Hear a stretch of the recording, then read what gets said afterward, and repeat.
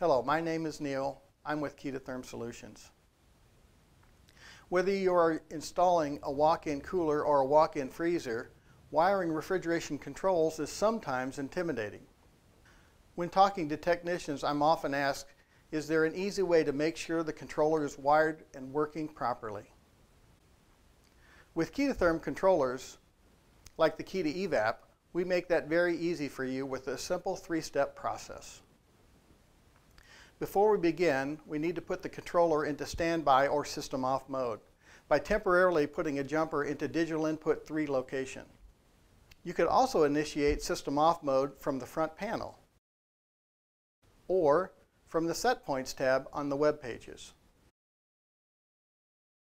Once we are in system off mode, there should be nothing running or energized. Now we can review the simple three-step process from the front of the controller to determine everything is wired correctly. Press the right arrow until the word Manual Menu scrolls across the display. Momentarily press the down arrow. If password prompt is displayed, momentarily press Enter. At this point, four zeros will be displayed. The right zero will be blinking. Use the up arrow to change the blinking digit to read 2. Use the right or left arrows to move the blinking digit and change the other three digits so that you now read four twos. Press and hold the enter button for three seconds. Step one, press the up or down arrow until the phrase manual fan relay scrolls across the display. Momentarily press enter. Use the up or down arrows to select manual fans on. Press and hold enter for three seconds. The evaporator fans should turn on and nothing else should run. Then turn off the fans by momentarily pressing the back button. Step 2. Use the up arrow to select manual defrost relay. Momentarily press enter. Use the up or down arrow to select manual on. Press and hold enter for three seconds. The defrost heater should turn on and nothing else should run.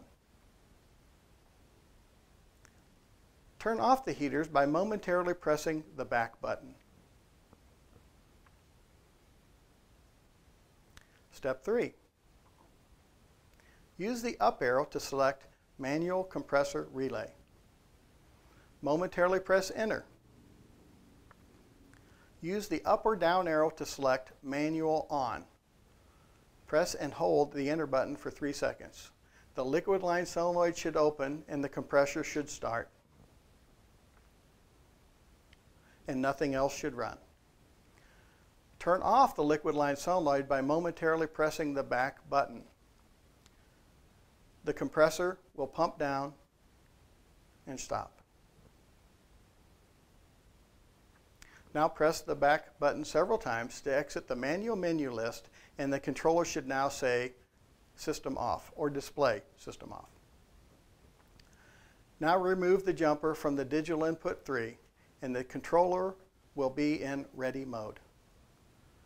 If the controller was put into system off mode from the front panel or the web pages, go back and make the necessary changes to put the controller into ready mode. By the way, we have wiring diagrams, terminal boards, wire harnesses, etc. to make installation easy and consistent. For more information, please visit our website or contact our tech support, and we'll be glad to help.